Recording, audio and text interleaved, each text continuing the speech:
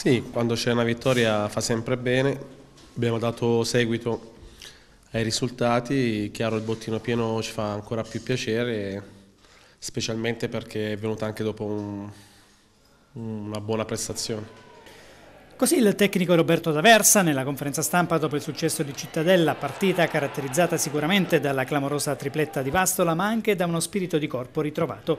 Il tecnico si sofferma poi sulle palle inattive e anche sul doppio turno interno Vicenza e Perugia.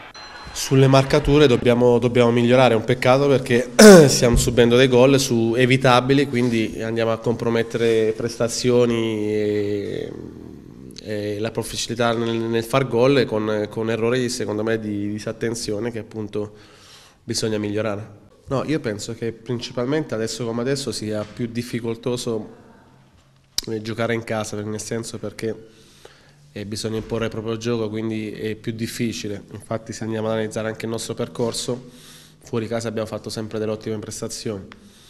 È chiaro che mh, bisogna pensare partita dopo partita, adesso viene il Vicenza, una squadra che che fa della fase difensiva la sua arma migliore e concede poco, quindi dobbiamo essere bravi a, non aver fretta e sfruttare quelle occasioni che ci capiteranno, eh, ma soprattutto a non concedere nulla perché, ripeto, è la cosa più importante per qualunque tipo di risultato le... bisogna subire meno gol. Ecco.